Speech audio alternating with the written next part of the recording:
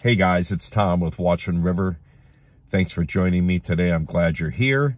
It's another great day that the Lord has made for us as we are one day closer to the pre-tribulation rapture of the church, which I believe we are on the cusp of. We are in the very last days. Today, I have an email to read to you guys that is so heartwarming. It could be a movie. it's so heartwarming. It's so incredible. I know that you're going to be blessed by it. But before I get to that, let's read some scripture. Let's read Psalm 91 together. Okay. He who dwells in the secret place of the Most High shall abide under the shadow of the Almighty. I will say of the Lord, He is my refuge and my fortress, my God, in Him I will trust. Surely He shall deliver you from the snare of the fowler and from the perilous pestilence. He shall cover you with his feathers, and under his wings you shall take refuge. His truth shall be your shield and buckler. You shall not be afraid of the terror by night, nor of the arrow that flies by day, nor of the pestilence that walks in darkness, nor of the destruction that lays waste at noonday. A thousand may fall at your side, and ten thousand at your right hand, but it shall not come near you. Only with your eyes shall you look and see the reward of the wicked, because you have made the Lord, who is my refuge, even the Most High, your dwelling place. No evil shall befall you, nor shall any plague come near your dwelling. For he shall give his angels charge over you to keep you in all your ways. In their hands they shall bear you up, lest you dash your foot against a stone. You shall tread upon the lion and the cobra, the young lion and the serpent you shall trample underfoot, because he has set his love upon me, therefore I will deliver him. I will set him on high because he has known my name. He shall call upon me and I will answer him. I will be with him in trouble. I will deliver him and honor him. With long life I will satisfy him and show him my salvation. Praise God. Praise God. Beautiful psalm. Okay, I have so much stuff to cover today. It's a lot of trouble in the Middle East, and and I will tell you, watch the weather. but we'll get to that. I have to read this email. It's incredible. Here goes. It's the story of Dennis and Emily. Tom, my name is Dennis, and I'm 99 years old. Across the street from where I live, nine years ago, a new couple moved in. Shortly after they moved in, I heard the man shouting, It's a girl! And I looked outside to see him attach two pink balloons to his mailbox, and then he yelled, Thank you, Jesus. Over the next nine years, I have become friends with that family, as neighbors should. I have watched that baby girl grow into a beautiful and bright young lady. Her name is Emily. And one day last week, she came over to sit and talk to me on my front porch, as we do from time to time. She said, do you want to meet my friend Tom? To which I replied, sure. She went running off to her house and came back with only her backpack. I wondered who or what Tom might be. She went digging into her backpack and she pulled out her tablet. She said as she began to fiddle with it, I hope the, the Wi-Fi works over here. And before I knew it, there you were on the scene and she said, that's my friend Tom. And she told me to listen. We listened to your entire show. And during it, you said you were old, which she laughed and looked at me and said, "Ha ha, you're old, not him. Today, meaning yesterday, because I got this email yesterday, last night. Today, Emily and I were sitting together on her front porch. And once again, she pulled out her tablet and we watched you today, March 21st, 2024. She was angry during the part when you talked about the three young bank robbers who were kids. And then towards the end of the video, I looked at her and tears were just flowing down her face. I asked her what was wrong, and here's what she said. You have been my friend my entire life, and soon we won't be friends anymore. I asked her why, and she said, because you don't know Jesus like I do. You haven't been saved. We have talked about this very thing before, but then went on with our lives. Today, I could feel the hurt in her heart because of my not having been saved. Now, many of people have tried to convince me over all these years about Jesus, but I always, I'm always too stubborn or too stupid to really listen. Today, as I listened to both you and Emily, I heard someone else as well. I heard the Holy Spirit for the first time in my almost 100 years. I asked Emily to help me kneel down, and do you know that tiny little 57 pound girl practically picked me up from the chair herself? She then screamed at the top of her little lungs, Thank you, Jesus. And together we knelt there on her front porch, and I committed myself to our Lord Jesus Christ. Her parents came out in a panic because they didn't know what was happening, and she just waved off and said, Kneel down and pray with us. He just got saved. After a few hugs and handshakes and tears of joy, we all stood there wondering what's next. And then Emily handed me her Bible and said, you can borrow this until I buy you your own. It's going to be for your birthday. My birthday isn't until April 16th, but she made it clear that today I was a born again Christian. I want you to realize, Tom, why you do what you do each and every day. I live alone. Well, I lived alone until today, that is. And I have no loving family until today. So please don't stop what you're doing. From 9 to 99, you're reaching people. Thanks be to Jesus. Thank you, Dennis. Dennis. Oh, my goodness. Emily. Oh, my goodness. That's just blows my mind. That's all Jesus. This almost 100 year old man turned to Jesus yesterday. It's never too late. It's never too late. But I have to tell you, though, time is short. Time is short. We're getting very, very close to that rapture. But this story right here just may the name of Jesus be praised. The way he uses people, the way he uses people is so incredible. This little nine year old girl with a heart for Jesus crying because her friend, her 99 year old friend, wasn't saved.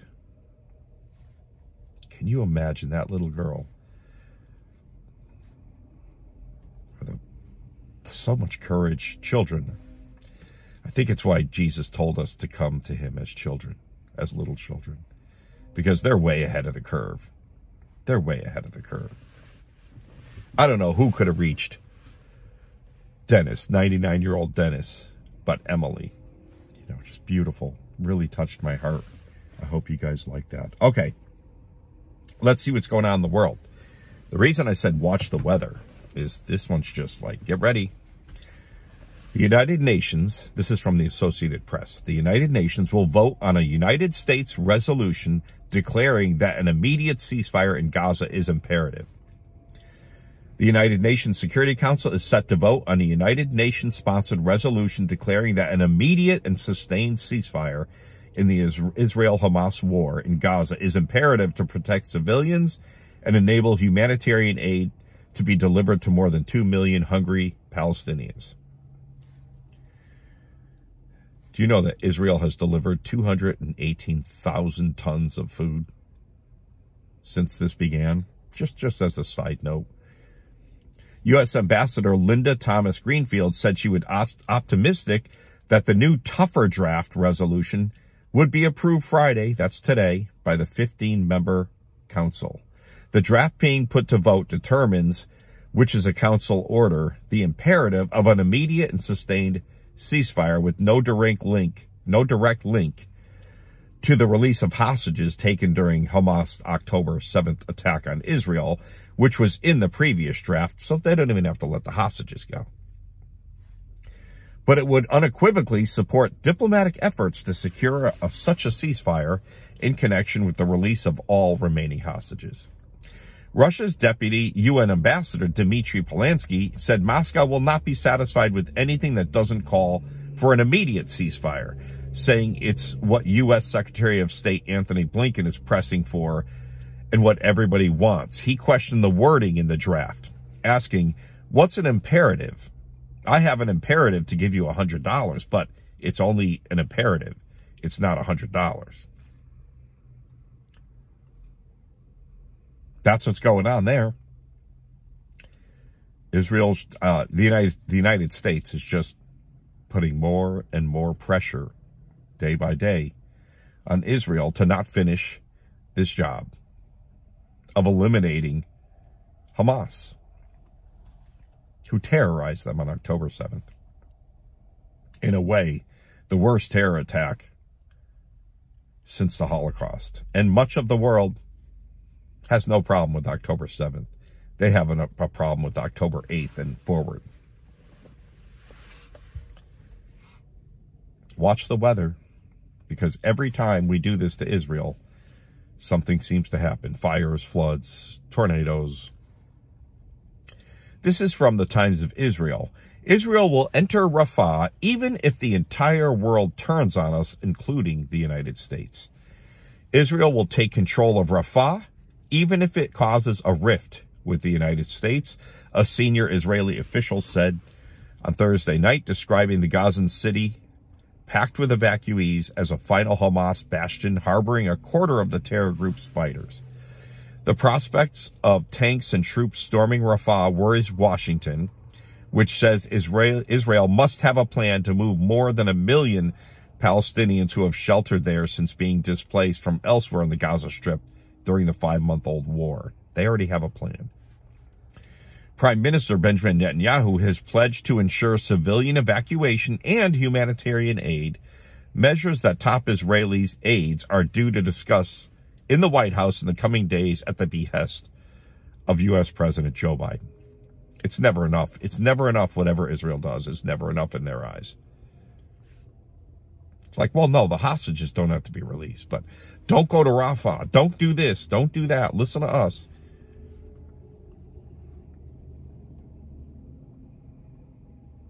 I will always be on Israel's side, just, just for the record. Doesn't mean I worship their government, but I will always be on their side. This is from the Jerusalem Post. Hezbollah ramps up terrorist activity in unprecedented Beirut area deployment.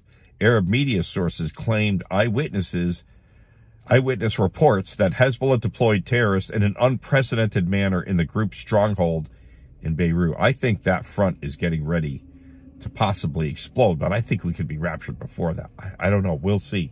We'll see. Also, Israel bolsters security during the Purim holiday. It's this weekend.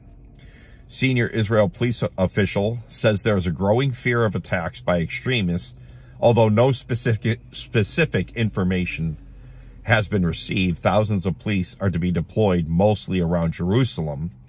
An official in the Israel police force said on Thursday that during the upcoming Purim holiday and the Muslim holy month of Ramadan, there will be increased presence of security forces across the country with an emphasis on Jerusalem. This is a quote from him. We are at a particularly high level of alert. We are deploying thousands of officers to maintain order and secure the Purim festivities and Ramadan prayers with a focus on Jerusalem and the temple, the Temple Mount, and the protests this weekend, said the senior official. That's what's going on there. They are still fighting in the Shifa hospital. What do you mean they're fighting in a hospital? What are they doing to those poor people in the hospital? Well, there were some patients in the hospital, but far outnumbered by terrorists.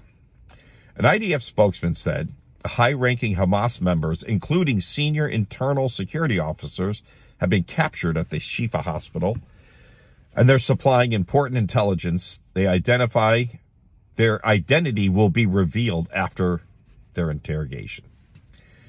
They're also saying that Islamic Jihad commanders were also captured. Most of Islamic Jihad's terrorists in northern Gaza were killed or surrendered. And they've said so far in this operation, this is what, day four, I believe, of this Shifa hospital where Israel had left Shifa hospital a few weeks ago and then they came back.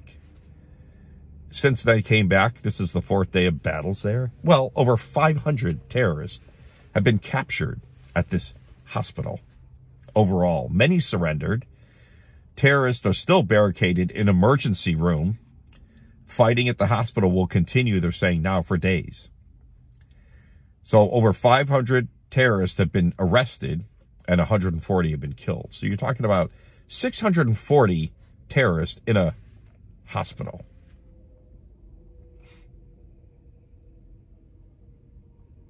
There you go. In a hospital. But you know what? You look at the mainstream media and you know what they'll tell you? Israel's attacking a hospital. They'll leave out all the details we just talked about because they always do.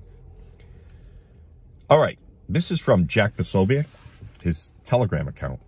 It was a really, really bad 24 hours for Ukraine. So pray for those people. He said Ukraine is getting blasted tonight. He put this up at about midnight Eastern Standard Time last night. Ukraine is getting blasted tonight. Missile strikes in multiple major cities. One of the biggest aerial bombardments of the whole war. It seems to be targeting power grids, communications, and air defense. A little later, Insider Paper released this. Russia attacked Ukraine overnight with over 90 missiles and 60 drones. Russia launched a massive wave of deadly overnight attacks on Ukraine using over 90 missiles and 60 Iranian-made drones. President Zelensky said on Friday in one of the largest offensives recently. Uh, as of 8 o'clock this morning, they said 700,000 residents of Kharkiv are stranded and without water after the launch of 17 Russian missiles and fires broke out in many places. So pray for pray for our friends in the Ukraine and also pray for the people in Russia as we do a lot. Taiwan admits the United States troops are now stationed on islands off the coast of China amid fears the region will spark World War III. This is the world we're living in right now. Don't let it trouble you if you belong to Jesus. Because we look at all this stuff ramping up around the world, the wars and the rumors of wars, and we just know we're, we're not going to be here for the seven year tribulation. And boy, does it look like it could start at any time. And we're going to be raptured before it. So I'm watching the skies every day. I'm waiting for Jesus. And my hope is in Jesus. And my security is in Jesus. And my lack of fear, seeing all these things happening all over the world, is because of Jesus, because I belong to Jesus. He's got this. He's not rattled he's actually, I think he's probably really excited. Probably more excited about the rapture than we are. And we're waiting for him. And we're going to do this every day until he gets us out of here. Or he decides he doesn't want me to do it any longer. But it'll be his decision. I'm committed to doing it until the day we're raptured. There was a huge earthquake in Indonesia's Java Island last night. Middle of the night, I think 6.4 earthquake in Indonesia. In the last 24 hours, they picked up a bit. There was 42 earthquakes over 4.0. There was seven over 5.0, and there was one over 6.0. So that's what's going there. Oh, listen to this. Whew. Incredible. This from Newsweek. Leprosy is spreading in Florida. Leprosy is on the rise again in the United States particularly in Florida concerning disease specialists. According to the World Health Organization, about 200,000 cases of leprosy occur every year in 120 countries worldwide and are often associated with contact with armadillos. The United States is experiencing cases, uh, they're creeping upwards, with the number of infections across the country more than doubling over the past decade. Both in people exposed to armadillos and those who aren't. According to a report from the Centers for Disease Control and Prevention last year, there were 159 new cases of leprosy in the United States, and in 2020, around a fifth of which were in Florida. Of the Florida cases, 81% were found in Central Florida. Who'd ever think we'd see that? I mean, I know it's always been there.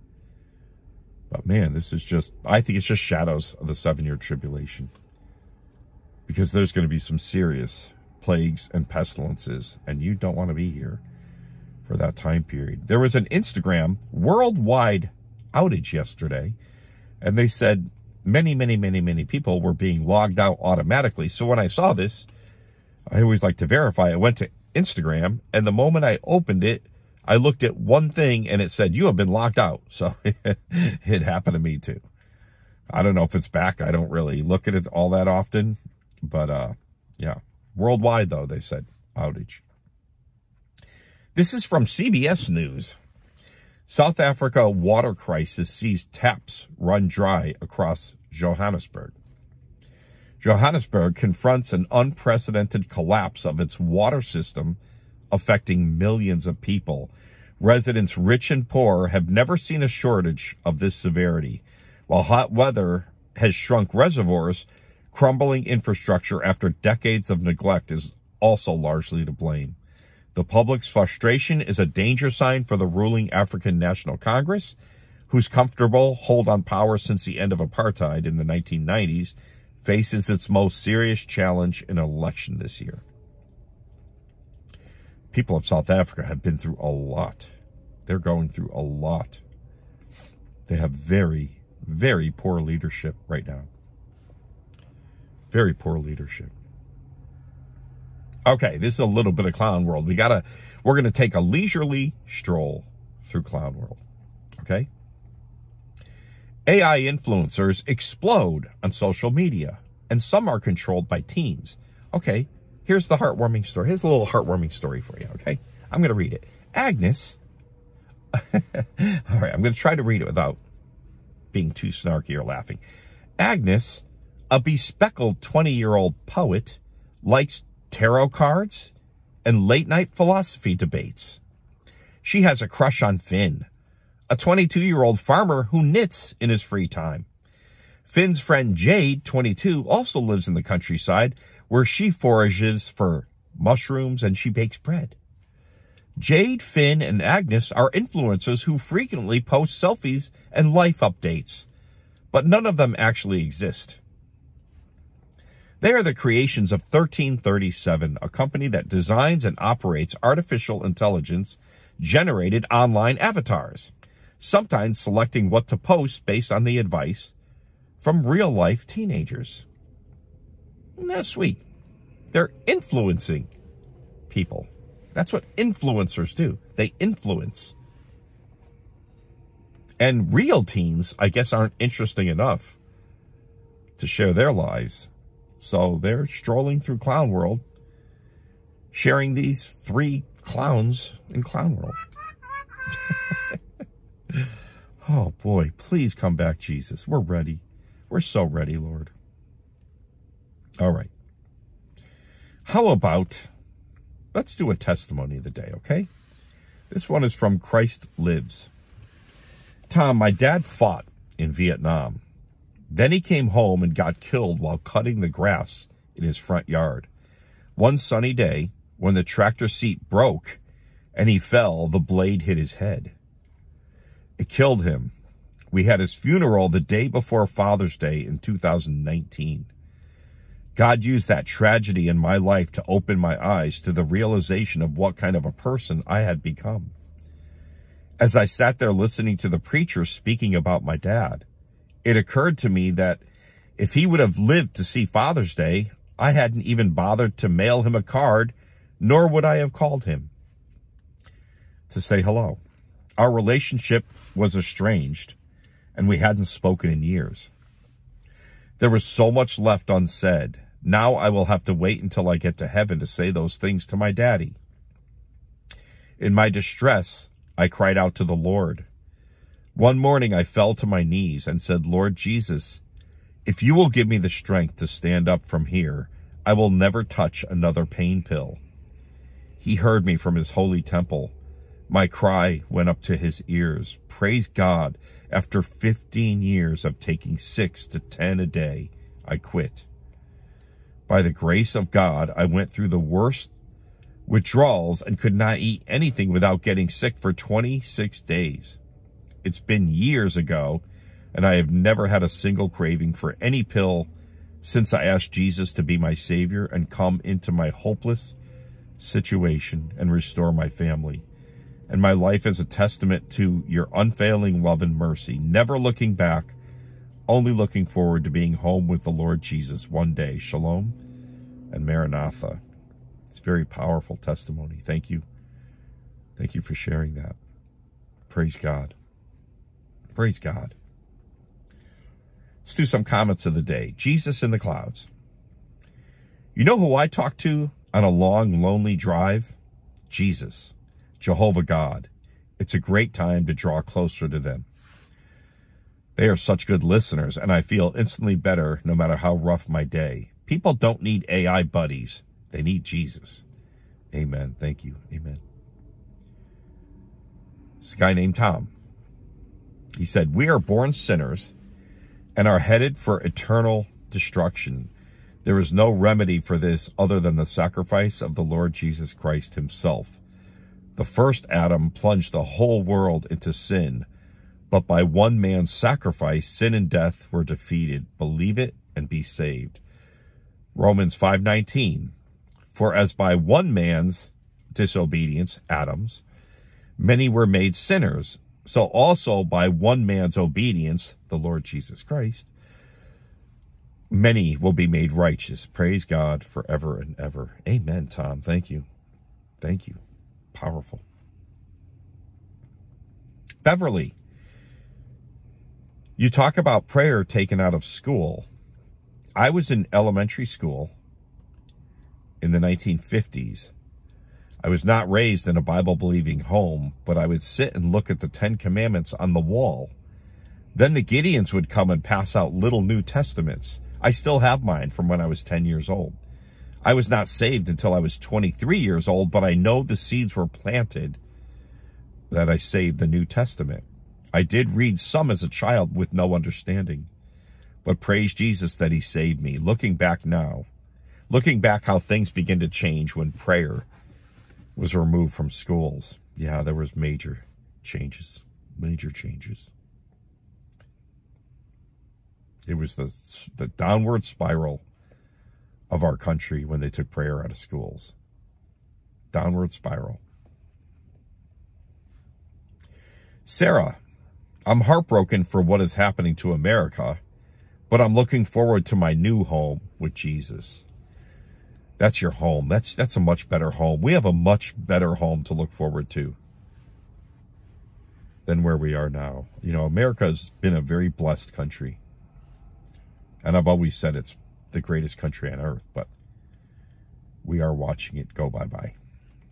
Darren, the Bible says that the world will keep waxing worse and worse. We're watching it all unfold. Literally. Yeah, we are.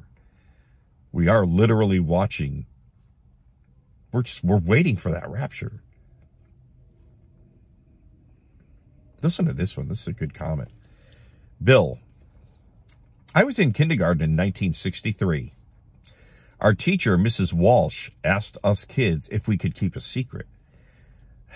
When we responded yes, she had us sit in a circle holding hands, and she said she could lose her job if we told anyone. She explained that President Kennedy had just been shot and she wanted us children to pray with her. Mrs. Walsh led us children in prayer for President Kennedy. One child did not keep the secret, but Mrs. Walsh did not lose her job as many teachers and children in our school elected to pray that day. Wow. Wow. What a memory that's got to be for you. Mrs. Walsh probably blessed a lot of children that day. I bet you I bet you none of those kids forgot that.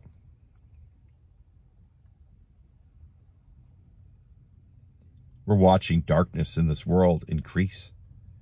Every single day, we're watching darkness increase. But that gospel message that Jesus rescued us on the greatest rescue plan that's ever been 2,000 years ago when Jesus came here and left a throne in heaven to come here. And he put on human flesh. He lived a perfect, perfect life. He never sinned once. And then he got brutalized and nailed to a cross. And he shed precious, beautiful blood. And some people get offended when I call the blood of Jesus beautiful. I just don't think they have a clear understanding of what that means. What that means for the world who will embrace and have faith in that blood. It's, it's eternity. Jesus bought us with his blood because he paid for every sin we'll ever commit, have ever committed, ever will, future, past, present. When we have faith in that blood, our sins are washed away. They're gone. We're washed white as snow by that beautiful blood that Jesus shed. I know it's violent. I know it's graphic. I know for some people it's hard to hear. But it's the way the system has been set up since the foundation of the world. That without the shedding of blood, there is no remission or forgiveness of sin. But God loves us. That's what makes the blood beautiful. God didn't just say, look, you sinners, you have no hope. I told you don't sin, you did, so just go off, go away. When you die, you will be eternally separated from me. I got a place prepared for you. It's called hell, so go to hell, you guys. No, that's not what God said. God sent Jesus. For God so loved the world that he sent his only begotten Son, that whosoever shall believeth in him shall not perish, but have everlasting life. That's what God did about the sin problem. He sent his only begotten son. How miraculous is that? And Jesus knew. He knew he was coming here and he was going to eventually, he knew he was shedding his blood to take care of the sin problem. And he paid for our sins, all of them, with his blood. And all you have to do you have to admit you're a sinner. You have to understand, well, I am a sinner and I need payment for these sins. And Jesus, you shed that precious blood that when I believe in that blood, that it can remove my sins and wash me white as snow. When I believe that, it happens. It happens.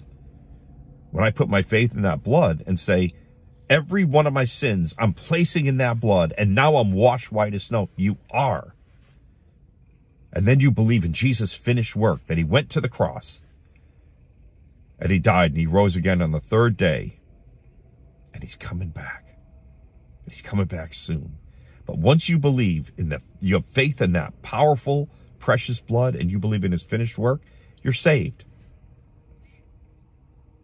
Like Dennis was yesterday. You're saved. You're born again. You're rapture ready. You're sealed unto the day of redemption. He'll never let you out of the palm of his hand. You will have the most incredible future being a part of the immediate family of God for eternity. How's that?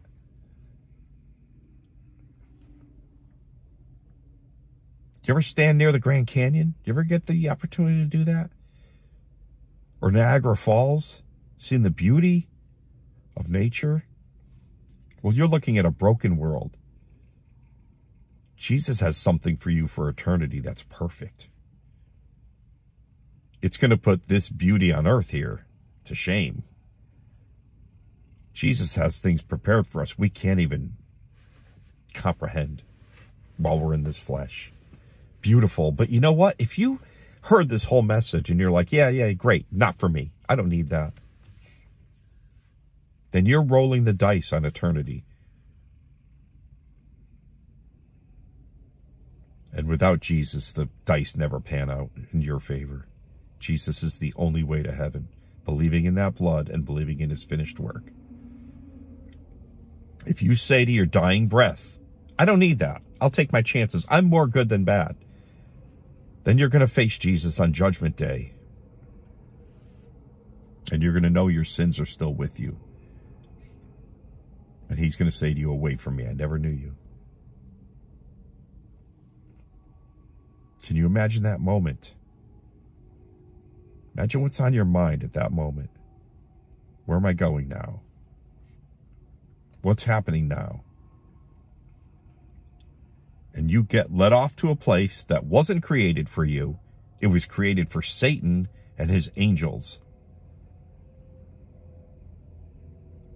God didn't create hell for mankind. God sent his son to die to pay for the sins with his blood of mankind.